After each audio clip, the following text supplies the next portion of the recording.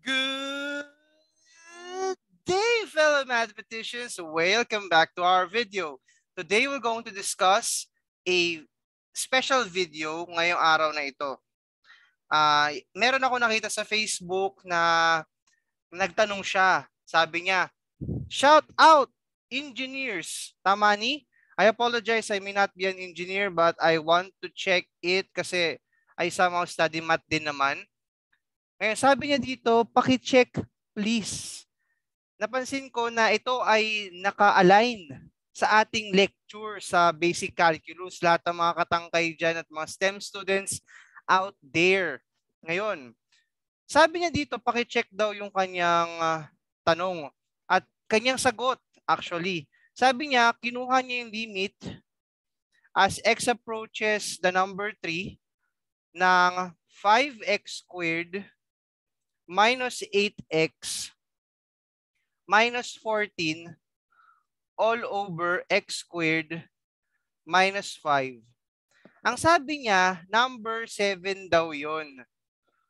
Tapos meron pa siya mga ibang mga binanggit dyan, pero yan ay wala na sa ating scope ng video na to. Gusto lang natin kilit, uh, kilatasin kung ang sagot ba na to ay 7 talaga.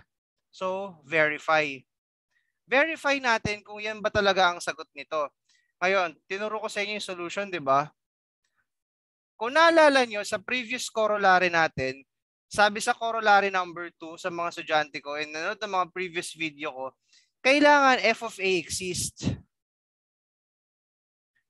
In this case, f of 3 must exist.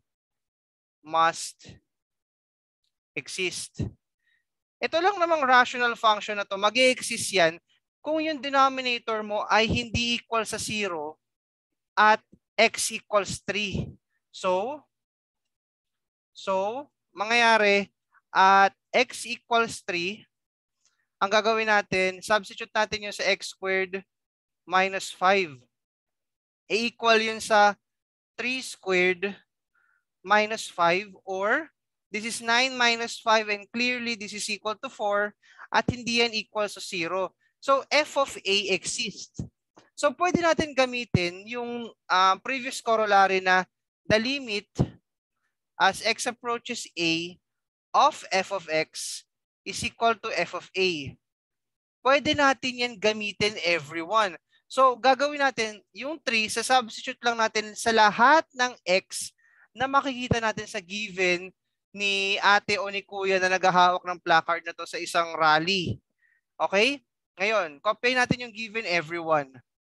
The limit as x approaches 3 ng 5x squared minus 8x minus 14 all over x squared minus 5. Okay? Tama naman siguro yung pagkaka-interpret ko doon sa picture. No? Ito namang exponent ito ay mukhang 2. Tama? So, yan. So, lahat ng mga x, papalitan natin ng 3.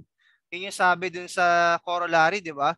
So 5 multiplied by 3 squared minus 8 multiplied by 3 minus 14 all over 3 squared minus 5.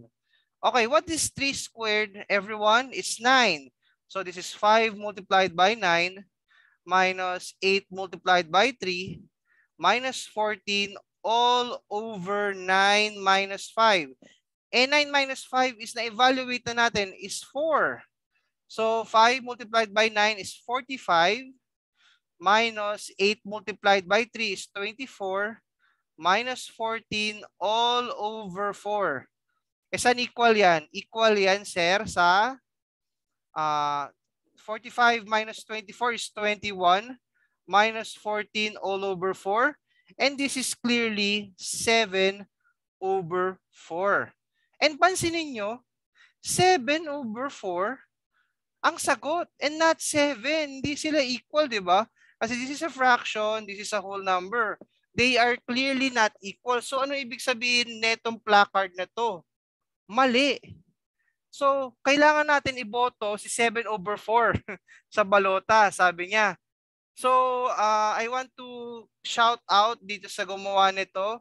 Do not post this because this will clearly make confusions sa mga STEM students out there or even sa mga nag-aaral ng calculus.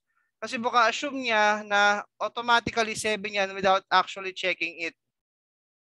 Okay? I don't care kung sino yung mga nilalagay mo dyan. I ju I'm just concerned with the mathematics that is behind it. Because you are spreading misinformation. And that's pretty bad even in the sciences or in mathematics mismo. Doon ka kasi nasa playing field na yun. Okay, so guys, if you see this picture, uh, comment down that you are wrong. That's not number 7. The answer is 7 over 4. Okay, do you understand that?